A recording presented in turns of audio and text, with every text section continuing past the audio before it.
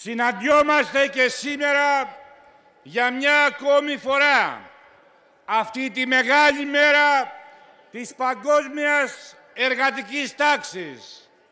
Όχι μόνο για να τιμήσουμε αγωνιστικά και απεργιακά τη ματωμένη εξέγερση του Σικάγου, τους ηρωικούς αγώνες του εργατικού κινήματος και τους χιλιάδες νεκρούς των εργατικών κοινωνικών αγώνων, αλλά κυρίως για να ανανεώσουμε τον όρκο μας ότι θα φτάσουμε τον αγώνα της τάξης μας στο στέλος της διαδρομής, δηλαδή ως την κατάργηση της εκμετάλλευσης ανθρώπου από άνθρωπο, ως τη μέρα που θα σακιστεί από τα θεμέλια το σύστημα της εκμετάλλευσης, των πολέμων, της αδικίας.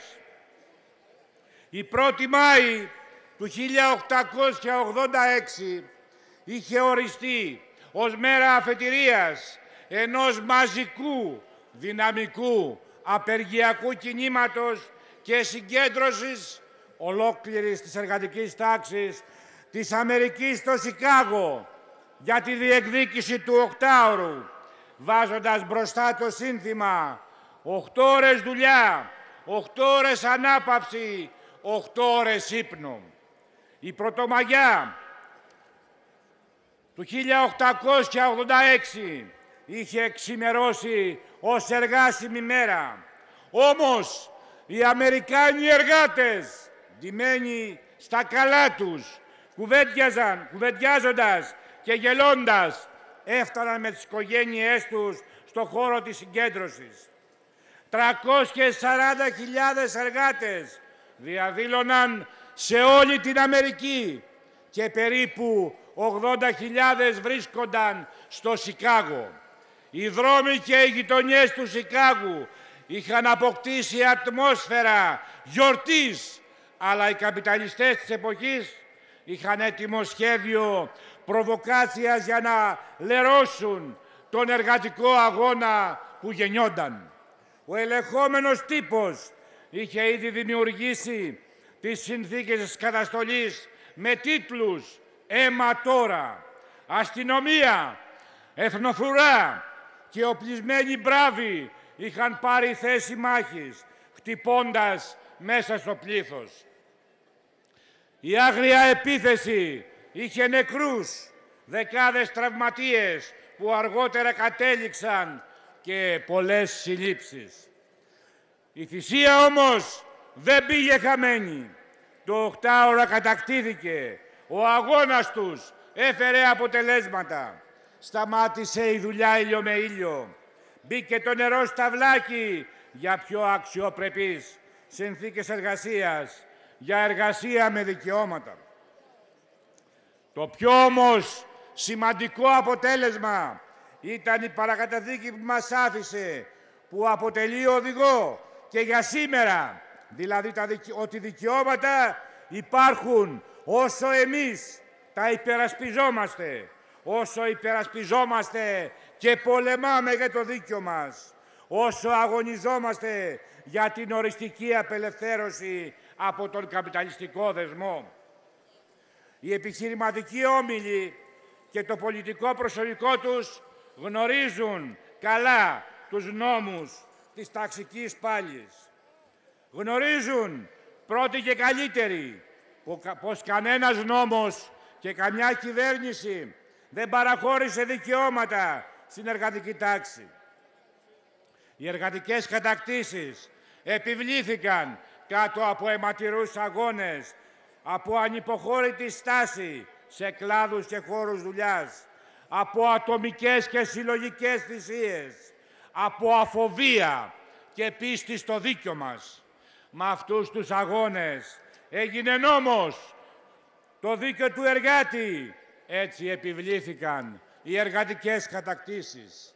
Η εμπειρία του προηγούμενου αιώνα και των εκατοντάδων εργατικών αγώνων σε κάθε χώρα είναι φωτεινός φάρος που σηματοδοτεί τους αγώνες του παρόντος και του μέλλοντος. οι καθημερινές μάχες σε όλους τους κλάδους, οι αγώνες που ξεκινούν από μια μικρή διεκδίκηση και φτάνουν με αιτήματα που οδηγούν σε πολυήμερες, πολύμινες απεργιακές μάχες, σε εργοστάσια και εργασιακούς χώρους, είναι η σημερινή συμβολή στον αγώνα για δουλειά, για ζωή με δικαιώματα. Αποτελεί κομμάτι στη συνολική υπόθεση της πάυσης της εκμετάλλευσης ανθρώπου από άνθρωπο για την, Αναστολή, για την Ανατολή της εποχής που ονειρεύτηκαν και πάλεψαν οι εργάτες του Σικάγου. Εργαζόμενες, εργαζόμενοι, το τελευταίο διάστημα το σύστημα που γεννά καταπίεση, το σύστημα της καπιταλιστικής βαρβαρότητας αντιμετωπίζει τα αλλεπάλληλα απεργιακά χτυπήματα από μεγάλους απεργιακούς αγώνες που ξεπηδούν σε πολλές χώρες της Ευρώπης και σε όλο τον κόσμο. Νέοι εργάτες, γυναίκες, εργοστασιακοί εργάτες, με αφοβία, με διάρκεια στον αγώνα τους, προχωρούν μπροστά, σπάζοντας την κρατική καταστολή και την εργοδοτική βία. Οι εργάτες στη Γαλλία, στη Μεγάλη Βρετανία, στη Γερμανία, στην Ισπανία, στην Πορτογαλία, στο Βέλγιο, στην Αμερική, στο Καζακστάν, στη Σρι αλλά και σε άλλες χώρες. Με πρωτόγνωρη μαζικότητα και με σθένος βγαίνουν στους δρόμους, απεργούν, διεκδικούν και διαδηλώνουν απέναντι στην αντιλαϊκή πολιτική που κλιμακώνουν όλες οι κυβερνήσεις, υπηρετώντας τα συμφέροντα και τις ανάγκες των μεγάλων επιχειρηματικών ομίλων. Είμαστε ιδιαίτερα χαρούμενοι που στη φετινή μας απεργιακή συγκέντρωση εδώ στην Αθήνα το ακούσατε, έχουμε ανάμεσά μας εργάτες από τη Γαλλία που βρίσκονται σε διαρκείς κινητοποιήσεις για να αποκρουστεί το αντεργατικό, αντιασφαλιστικό νομοσχέδιο της κυβέρνησης Μακρόν και όχι μόνο, που καλεί βήμα-βήμα και την εργατική τάξη της Γαλλίας να εργάζεται με τη μαγκούρα στο χέρι. Να ξαναφωνάξουμε όλοι μαζί το σύνθημα «Σε Ελλάδα και Γαλλία ίδιος είναι ο εχθρός, ανίκητος δεν είναι ο καπιταλισμός». Το πάμε εργα...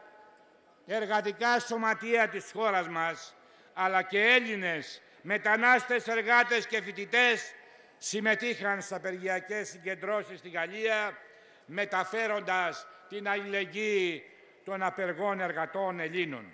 Τις ίδιες μέρες προχωρήσαμε εδώ σε κινητοποιήσει στη Γαλλική Πρεσβεία, στα γαλλικά προξενία και σε άλλες πόλεις της χώρας.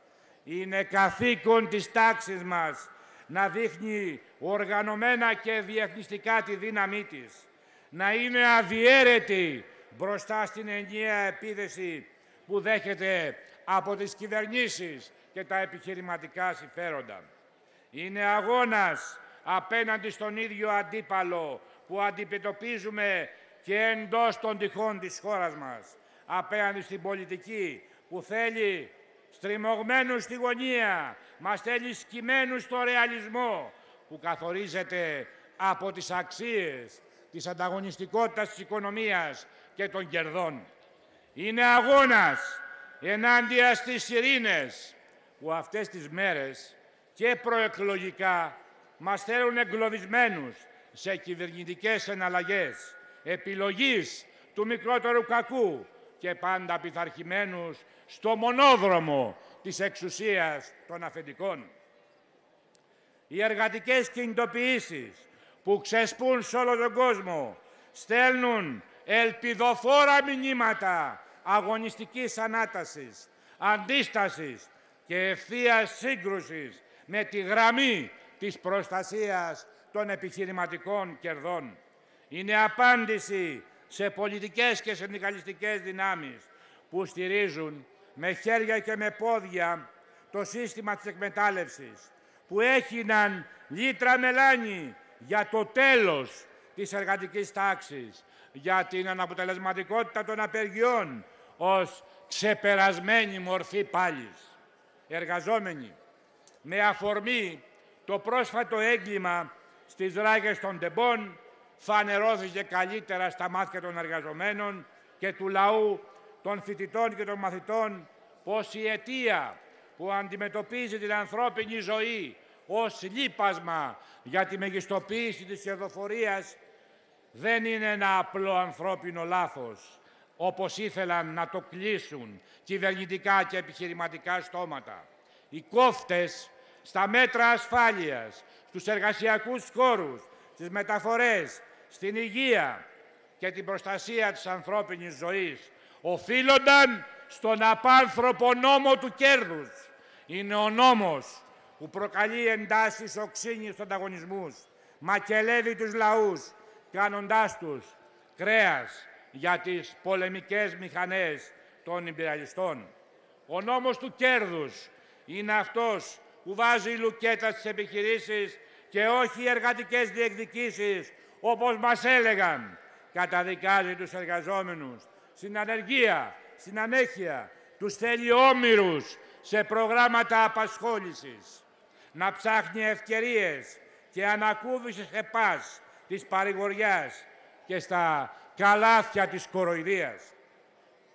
Αυτές τις μέρες, στα καθημερινά τέμπη της πιστοτής κλαβιάς, μετράμε νεκρούς συναδέλφους μας, εν ώρα εργασίας, σε εργοστάσια και μεγάλους χώρους δουλειάς. Για μια ακόμη λοιπόν φορά επιβεβαιώνεται πως μπροστά την κερδοφορία τους η ζωή είναι παράπλευρη απώλεια. Πώς αλλιώς μπορεί να εξηγηθεί πως την ώρα που οι εργαζόμενοι έχαναν τη ζωή τους, οι επιχειρήσεις συνέχιζαν τη λειτουργία τους κανονικά. Ως εδώ οι εργάτες δεν είναι αναλώσιμοι. Κανένα έγκλημα δεν θα μείνει ασυγχώρητο. Δεν θα δεχτούμε την απαράδεκτη τακτική της επίρρηψης των ευθυνών στους εργαζόμενους. Γεγονός που έχουμε δει να επαναλαμβάνεται σε εργατικά ατυχήματα και θανάτους. Δεν θα δεχτούμε ένα εργασιακό καθεστώς που μας οδηγεί να ξεχνάμε τι σημαίνει οχτάωρο, τι σημαίνει ρεπό, τι σημαίνει μέτρα προστασίας; Έτσι χτίζονται τα τέμπη της καθημερινότητάς μας.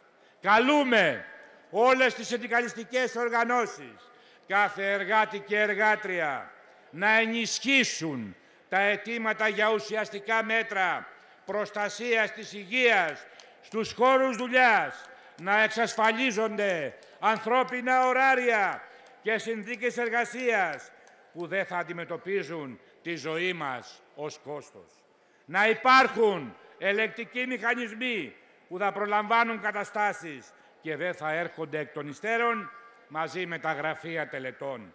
Εργαζόμενοι, εργαζόμενες, αποτελεί αγκάθι για την κυβέρνηση και συνολικά για τους υποστηρικτές του συστήματος της εκμετάλλευσης πως οι πρόσφατες κινητοποιήσεις στη χώρα μας για το έγκλημα των τεμπών έβαλαν στο στόχαστρο τα κέρδη των επιχειρηματιών. Είναι πρόβλημα για αυτούς να γεννιούνται συνειδήσεις αμφισβήτησης των βασικών νόμων του συστήματός τους. Όσο το κέρδος θα είναι κριτήριο για την ευημερία των λίγων, τόσο θα υπάρχουν πόλεμοι, δυστυχία, φτώχεια, ανεργία, μισθή ανέχειας, εντατικοποίηση της εργασίας, ακαθόριστα ωράρια για τους πολλούς. Ο νόμος του κέρδους είναι η αιτία του κλεισίματος νοσοκομείων, του υποστελεχωμένου προσωπικού στην υγεία και των χιλιάδων υγειονομικών που η σύμβασή τους ανανεώνεται μέσω των προγραμμάτων. Ο νόμος του κέρδους είναι η αιτία για το διαρκές έσχος των χιλιάδων αναπληρωτών δασκάλων και καθηγητών στην παιδεία. Για τα σχολεία που το ταβάνι τους πέφτει στα κεφάλια των μαθητών. Για τα σπίτια του λαού που είναι φιλέτα. Για τα αρπακτικά. Για τα στα ενίκια που χρειάζεται σχεδόν ένας μισθός για να καλύπτονται. Οι εργατικοί αγώνες που αναπτύσσονται σε κάθε κλάδο σε χώρους εργασίας, στον ιδιωτικό και δημόσιο τομέα. Οι κινητοποιήσεις των φτωχοδιάβολων της δουλειάς είναι οδηγός και ελπίδα. Οι κινητοποιήσεις για το δικαίωμα στην εργασία στο μεροκάματο χρειάζεται να δυναμώσουν, χρειάζεται να απλωθούν. Αυτούς τους αγώνες έχουν βάλει στο στόχαστρο η επιχειρηματική όμιλη και η κυβέρνηση, οι άνθρωποι τους μέσα στο εργατικό συνδικαλιστικό κίνημα, οι εργατοπατέρες που είναι φύλακες των συμφερόντων της εργοδοσίας. Τις τελευταίες μέρες επιχειρούν να χτυπήσουν συνδικάτα που είναι μπροστά στους αγώνες, που αποτέλεσαν παράδειγμα, επιχειρούν να σπηλώσουν πρωτοπόρους εργάτες συνδικαλιστές. Οι μεθοδεύσεις τους για να σπάσουν το μεγαλειώδη αγώνα στη Λάρκο με την επίθεση στους συναγωνιστές που ηγούνται του Σωματείου της Λάριμνας, η βρώμικη επίθεση στους συναγωνιστές μας, τους συνδικαλιστές, του Πάμε στο Μετρό, το νέο έργο Ντοθίας που κάνουν μπροστά στο συνέδριο της Ομοσπονδίας Μετάλλου για να μην αλλάξει ο συσχετισμός, τους λέμε ένα, δεν θα περάσουν, θα πέσουν στο κενό. Αυτή την απάντηση θα πάρουν και όσοι τάχα συνδικαλιστές, γνωστά άθλια υποκείμενα και άνθρωποι της εργοδοσίας αγκαλιά με διευθυντικούς μηχανισμούς των σούπερ μάρκετ θεωρούν πως το σύνθημα «Σωματεία εργατών» και όχι των εργοδοτών ξεχάστηκε και προσπαθούν να στήσουν κι άλλα σωματεία μαϊμούδες στην Αττική, στα Τρίκαλα και αλλού. Συνάδελφοι, κανένας υποσχόμενος κυβερνητικός μεσίας δεν μπορεί να δώσει λύση στα καθημερινά και οξυμένα προβλήματα που αντιμετωπίζει κάθε εργατική λαϊκή οικογένεια.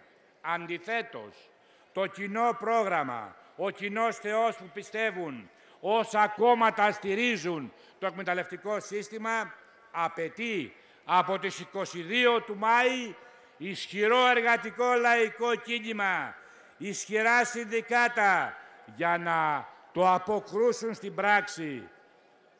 Αυτό το κοινό πρόγραμμα που έχουν τα κόμματα της Πρωτοκρατίας, η Νέα Δημοκρατία, ο ΣΥΡΙΖΑ, το ΠΑΣΟΚ, είναι η βάση για να τα βρίσκουν και στη Γενική Συνομοσπονδία Εργατών Ελλάδας και οι παρατάξεις τους να εκλέγουν ξανά μετά από 17 χρόνια τον ίδιο πρόεδρο, τον Παναγόπουλο, αλλά επίσης ε, και την τέταρτη σε δύναμη παράταξη του ΣΥΡΙΖΑ στη θέση του γραμματέα. Το κάνουν γιατί θέλουν συνδικάτα παροπλισμένα στο τραπέζι του κοινωνικού διαλόγου, ιδιαίτερα μετά τις εκλογές, αφού έρχεται τσουνάμι νέων αντιλαϊκών μέτρων. Παρά την προσπάθεια που κάνουν η Νέα Δημοκρατία, ο ΣΥΡΙΖΑ, το ΠΑΣΟΚ, να συσκοτήσουν τον αντιδραστικό χαρακτήρα της καπιταλιστικής ανάπτυξης για να χειραγωγήσουν τη μεγάλη λαϊκή δυσαρέσκεια, δεν μπορούν να κρύψουν ότι την επόμενη μέρα των εκλογών η κατάσταση θα γίνει χειρότερη για τους εργαζόμενους. Τα επιτελεία της Ευρωπαϊκής Ένωσης, οι αστικές κυβερνήσεις, καθώς και διάφοροι διεθνείς οικονομικοί και τραπεζικοί οργανισμοί προειδοποιούν ότι τα σημάδια της ύφεσης σε κλάδους της οικονομίας μεγαλώνουν. Διαμορφώνουν προϋποθέσεις για μια νέα καπιταλιστική κρίση που θα έχει με τη σειρά της νέες αρνητικές συνέπειες για τους λαούς. Στα εκατομμύρια νεκρών από την πανδημία, στην ενεργειακή φτώχεια, στη μείωση του εργατικού λαϊκού εισοδήματος θα προσθεθούν νέα αντιλαϊκά μέτρα που θα επιδεινώσουν τη ζωή των λαών της Ευρώπης για να σωθούν τα κέρδη τους. Αυτή, αυτή η εξέλιξη αντικειμενικά τροφοδοτεί την όξυνση της αντιλαϊκής πολιτικής και στην Ελλάδα από όποια αστική κυβέρνηση διαμορφωθεί μετά τις εκλογές. Η αξιοποίηση του Ταμείου Ανάκαμψης και η χρηματοδότηση των μονοπωλιακών ομίλων στη χώρα μας προϋποθέτει νέα αντιλαϊκά μέτρα. Περαιτέρω υπονόμευση των συλλογικών συμβάσεων, μείωση των πραγματικών μισθών, γενίκευση των ελαστικών μορφών απασχόλησης, ένταση των πληστηριασμών και των εξώσεων, ενίσχυση της εμπορευματοποίησης, της ιδιωτικοποίησης κρίσιμων κοινωνικών αγαθών και υποδομών στο νερό, στην ενέργεια, στην υγεία, στην παιδεία, βάθεμα της εμπλοκής της χώρας μας στον imperialιστικό πόλεμο με ανυπολόγιστες συνέπειες για το λαό μας. Το καπιταλιστικό κέρδος είναι το έφλεκτο υλικό που φουντώνει, φουντώνει τη φωτιά στον imperialιστικό πόλεμο στην Ουκρανία με υπερτότον κίνδυνο μεγαλύτερης κλιμάκωσης και γενίκευσης του πολέμου.